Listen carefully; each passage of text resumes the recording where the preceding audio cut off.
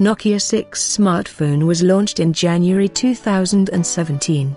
The phone comes with a 5.50-inch touchscreen display with a resolution of 1080 pixels by 1920 pixels at a PPI of 403 pixels per inch. The Nokia 6 is powered by 1.1 GHz octa-core Qualcomm Snapdragon 430 processor processor and it comes with 4 GB of RAM. The phone packs 64 GB of internal storage that can be expanded up to 128 GB gigabytes via a microSD card. As far as the cameras are concerned, the Nokia 6 packs a 16-megapixel primary camera on the rear and a 8-megapixel front shooter for selfies. The Nokia 6 runs Android 7.0 and is powered by a 3000 mAh non-removable battery. It measures 154.00 by 75.80 by 7.85 and weighs 167.00 grams. The Nokia 6 is a dual SIM,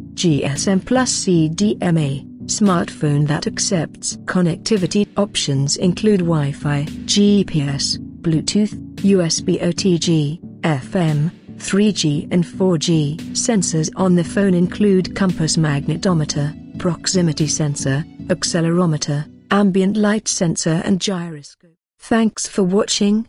Please don't forget to subscribe for more tech videos.